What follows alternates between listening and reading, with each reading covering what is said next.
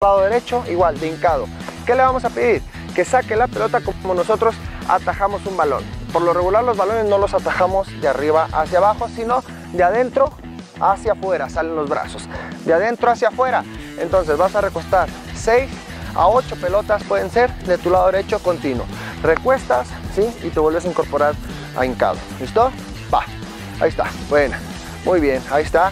Hacemos de 6 a 8 pelotas del lado derecho muy bien, y luego paso a al lado izquierdo. Ahí está, igual, mismo número de pelota.